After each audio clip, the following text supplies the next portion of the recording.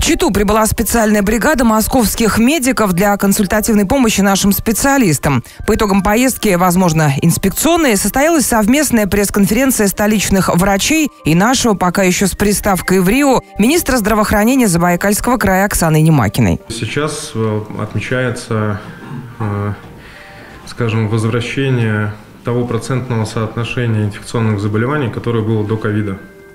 Это происходит не так быстро, как хотелось бы нам ответить на вопрос. Если бы мог ответить вам, когда закончится коронавирусная инфекция, но, к сожалению, никто не знает, когда это произойдет, учитывая, что вирус мутирует, образуются все новые и новые штаммы, и в этой ситуации мы можем только предполагать как будет развиваться инфекция. Плюс от общения с московскими специалистами в том, что меньше страха перед коронавирусом, больше разумной надежды, которая исходит от подлинных медиков. Ведь мы практически не видим реальных врачей в кадре. Все больше чиновников от медицины, которым доверие в разы меньше. Но никто не внушает ложной надежды, что вот-вот мы будем жить как прежде. Мы больше узнаем об этой инфекции, вырабатываем методики, как ее лечить, а теперь методом проб и ошибок систему здравых ограничительных мер, чтобы обуздать болезнь, не разрушая при этом экономику, социальный уклад и мировоззрение людей. Приезд этой комиссии придает больше уверенности в правильности действий забайкальских медработников.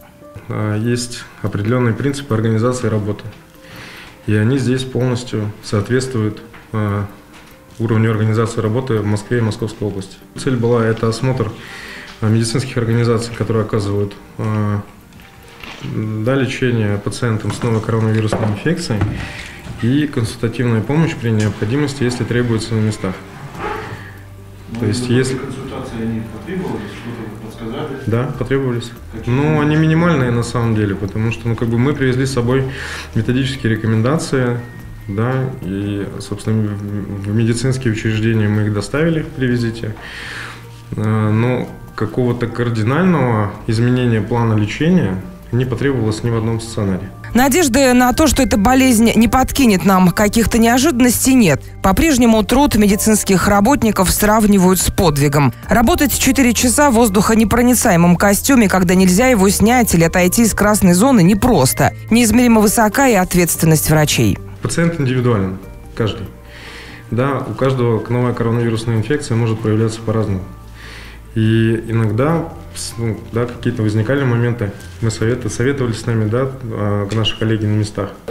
Те волны а, эпидемия и тяжесть пациентов была сложнее. И, и наши коллеги, которые приезжали сюда, они достаточно долгое время проводили непосредственно а, в красных зонах, участвуя и физически, и интеллектуально в лечении этих пациентов.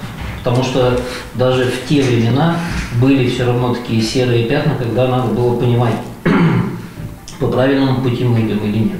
Действительно, в этот раз приехала достаточно небольшая команда на довольно непродолжительное время. Больше для того, чтобы проверить, соблюдаются ли протоколы лечения и консультации в сложных индивидуальных случаях. Тем не менее, вакцинация оказалась наиболее обсуждаемой темой на пресс-конференции. Уровень недоверия к этой прививке, а точнее к той настойчивости, граничащей с насилием, что правительство края и официальная медицина вкладывают в этот укол, еще высок у нашего населения. Конечно же, зависит это от э, уровня вакцинации, от да, количества э, населения, которое сделает себе прививку.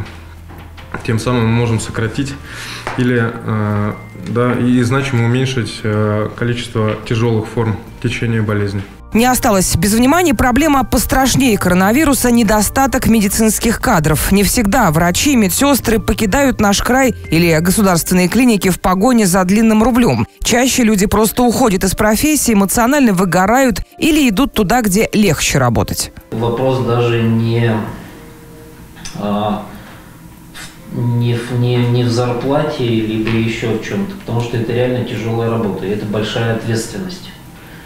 К сожалению, а, ну вы все это прекрасно понимаете. Сейчас молодежь, она достаточно а, амбициозная, и все, что происходит в соцсетях, где легкие деньги, ничего делать не надо и даже учиться, конечно же, немножко перепрофилирует нашу молодежь на то, что зачем работать и еще брать на себя ответственность за другого человека, который тебе, ну, по сути, никто, чужой человек. Это, конечно же, достаточно тяжело. И мы над этим работаем, мы пытаемся привлечь молодых ребят и заинтересовать их, именно заинтересовать, а, что это достаточно благородное занятие, и вопрос даже не в деньгах. Столичные светила в очередной раз дали нам понять, что все силы на борьбу с коронавирусом прикладываются. Хотя это достаточно молодое заболевание, еще до конца неизведанное. Как нас нужно лечить и какие последствия ждут переболевших, сказать пока очень сложно. Дарья Калинина, Юрий Житлухин, Алексей Павлов. ЗАП ТВ.